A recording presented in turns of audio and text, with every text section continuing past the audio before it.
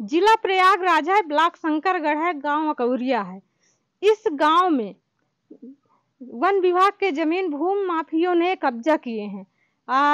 जबकि गरीब परिवार के नाम मुकदमा लिखा गया। उनके पास एक भी ज़मीन नहीं है, न जगह है, न ज़मीन है। घर बनाने के लिए भी इतना ज़्यादा जगह उनके पास नहीं है।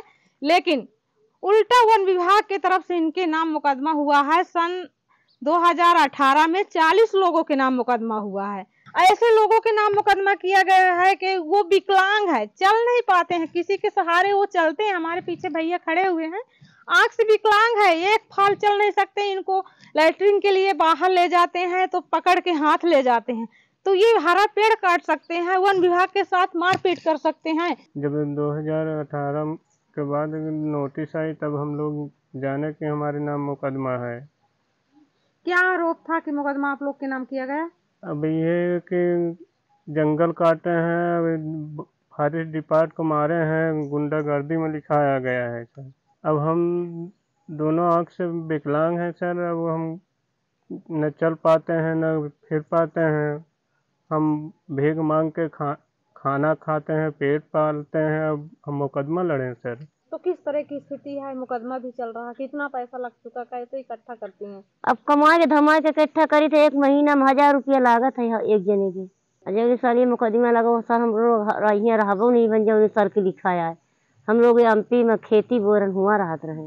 वन विभाग मकौरिया वालन का ही कहा है कि अपना वन विभाग जो है नाप करके अपना ज़मीन अपने कब्जा में ले। जो भूमि माफिया इस पर हावी है उनसे छीन करके अपना ज़मीन कब्जे में ले हम लोगों का यही कहना है। तो वन विभाग की ज़मीन कितना एकड़ भूमि माफियों ने कब्जा किया है अभी? हमको तो लग रहा है हज़ार दो हज़ार बीघे दखलबाजी हुई है। वे कहा था कि हमको प्रधान बनाइए इसमें ग्राम सभा के ज़मीन है दो बीघे है वन विभाग में। अगर प्रधान हो जाएँगे तो तुम लोगों को बचने का पट्टा कर देंगे। उसी लालच में हम लोग उसको प्रधान बनाया। और उसी के बाप पुरखों ने इतना दखलबाजी जंगल में की थी।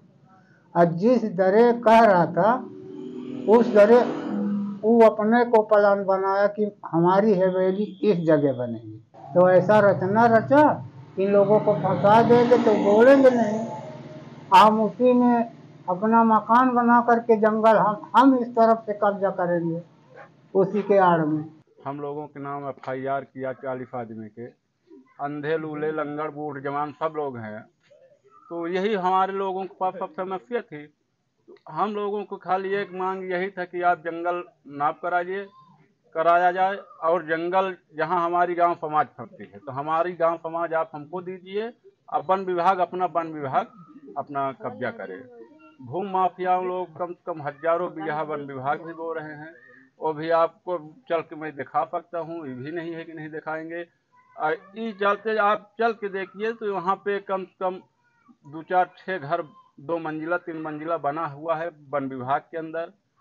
और यही वन विभाग के अधिकारी लोग सब ले दे करके यही खेती कराते हैं, यही सब जुताते, बोवाते हैं, यही मकान बनाते हैं। जब हमका का कहते फारिस गार्ड कहा था रेंजर कहा था या का कहते बंदरोगा कहा था तो आप हम मार सकी थे। कितना परसेंट होंगे भूमिहीन सत्तर परसेंट से कम लोग नहीं होंगे भूमि। में कितना प्रतिशत आदिवासी परिवार होंगे आदिवासी परिवार तो मान के चलिए कि निन्यानवे परसेंट है। यहाँ जो स्थिति ये बनी थी कि ये बेचारे गरीब आदमी थे इनको गाँव प्रधान ने जो है पहले तो झांसा दिया इनसे पाँच पाँच हज़ार रुपए लिया पट्टा के नाम पे। जी। और बता बता दिया कि आपको जंगल विभाग, बता दिया कि आपको हम पट्टा देंगे और उन्होंने ज़मीन दिखा दी। तो ये बेचारे वहाँ पर केवल गए थे, ठीक है? फिर उन्हीं लोगों ने रंजिशन कि हमारे गुलाम हमेशा के लिए बने रहे। तो उन्होंने उनचालीस लोगों के खिलाफ मुकदमा दर्ज करा दिया वन विभाग के द्वारा। क्योंकि दरोगा वही कल्याणपुर गाँव है, उसी अकौरिया से जस्ट बगल लगा हुआ, उसी गाँव के थे। तो वो पार्टी बंदी के कारण उनके जो रिश्तेदार थे मौजूदा ग्राम प्रधान के तो चालीस लोगों पे पहले तीस लोगों पे एफ़ हुई और उसके बाद तीन लोगों का नाम जो है एफआईआर में विलोपित कर दिया गया। और पंद्रह लोग थे मतलब आप ये समझिए कि जितने भी लोग 18 साल के ऊपर थे सबका नाम मुकदमे में पंजीकृत किया। उनकी मांगे यही है कि जो मुकदमा वन विभाग के तरफ़ से हुआ था हमारे नाम ऐसे वाला कोई ऐसे वाला कोई उनका डिमांड तो हमारे पास है। नहीं वन भूमि ऐसे दिए जाने का कोई प्रोविज़न नहीं होता है। और जो भी अतिक्रमण है उसको हटाने की कार्रवाई कर रहे हैं। सर उनका ये भी कहना है कि वहाँ का नाप करवाया जाए और जो भूमि माफियों जो ऐसे अवैध कब्जा किए हैं तो उनको हटाया जाए। हटाया जा रहा है सारे हटेंगे। अभी अधिकतम हटाया भी गया है उनका जो क्लेम थे। पिछली पिछली एक महीने से लगभग कार्रवाई चल रहा है। बहुत जल्दी ही हम लोग कंप्लीट सेक्योर कर लेंगे। वन भूमि कोई भी अतिक्रमण छोड़ा नहीं जाएगा सब हटेगी। खबर लहरिया आपकी खबर आपकी भाषा।